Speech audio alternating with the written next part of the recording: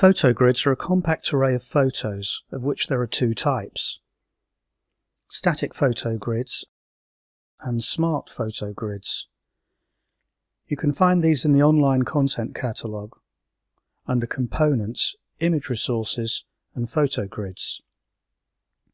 Static photogrids are aesthetically pleasing arrays of photos, but in a fixed arrangement.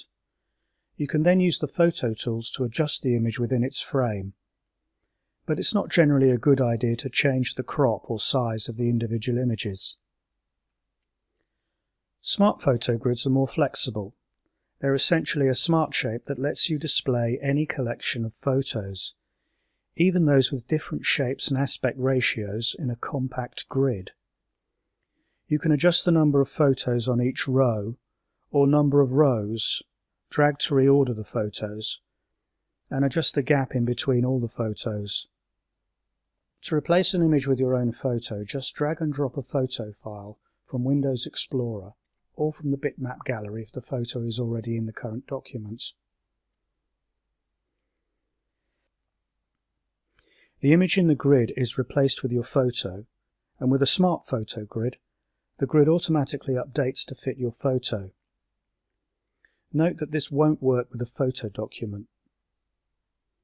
Alternatively, you can right-click on your photo and select Replace Photo. This will work with a photo document. Then choose to either replace the photo with one of your own photo files or else with a stock picture from the content catalogue. Now with the Smart Photo grid, show the Smart Shape handles by double-clicking on the grid or use the Quick Shape tool. Shift F2 is the keyboard shortcut.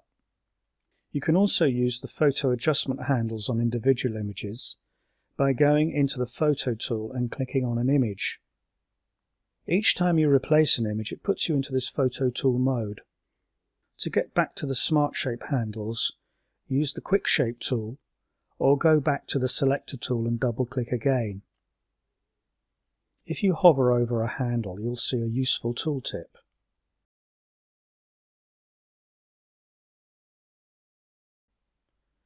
Drag the blue handle in the center of an image to reorder it. Click one of the green handles to delete an image. This will reshuffle and resize the images on the grid. Resize the grid here or use the selector tool. Rotate the grid up here. To add more images, click the green Add Photo handle on the right end of each row or drag the Add Remove Rows handle at the bottom left of the grid to add a complete row. The height of a row is calculated by fitting the number of images in this row into the width of the grid. So the more images per row, the less tall that row is, especially if the images are wide like panorama photos. Similarly, rows containing just a single image will usually be taller. There's a border width handle on the top left photo in the grid that lets you adjust the space between each photo. You can have no space at all if you choose, but when you do have a border, it's simply empty space between the photos, so you see whatever is behind your photo grid. Therefore, if you want to see something other than the page background, just draw a rectangle with the desired colour to act as your new background.